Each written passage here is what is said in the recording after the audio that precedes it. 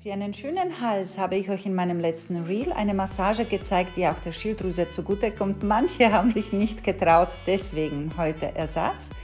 Kinn nach vorne, Gesicht zur Seite, Kopf in den Nacken legen und schön die Spannung auf der Seite spüren. Das ist eine sehr gute Dehnübung, die ein guter Ersatz ist für die Massage.